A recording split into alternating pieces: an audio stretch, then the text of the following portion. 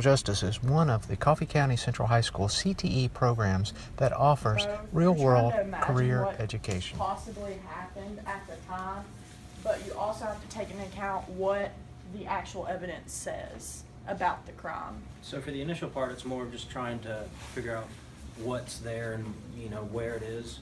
And then, you know, after we finish with this, we'll pick up the evidence markers and kind of go through and mark the evidence that we think needs to be collected and what we think kind of tells part of the story. And that's kind of when we start piecing together what happened and how exactly it happened.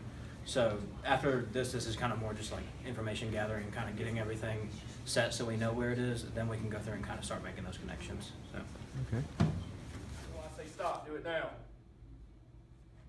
Stop, do it now. Driver, driver, get on your knees, do it now.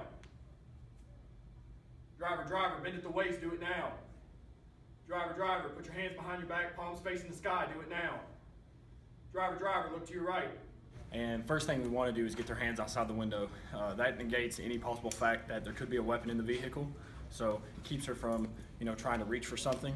Um, we, after that, we told her to take the keys out of the ignition and place them on the roof. The vehicle could be used for her to obviously try to get away, or she could turn it around and try to use it against us. You have the right After that, we tried to get her out of the vehicle. There could still be a weapon in there. We did that. Uh, she still could have a weapon on her. And so we tried to get that. We negated that fact. And after we knew that she had no weapons on her, there was no weapons in the vehicle, we got her back towards us and we conducted the arrest.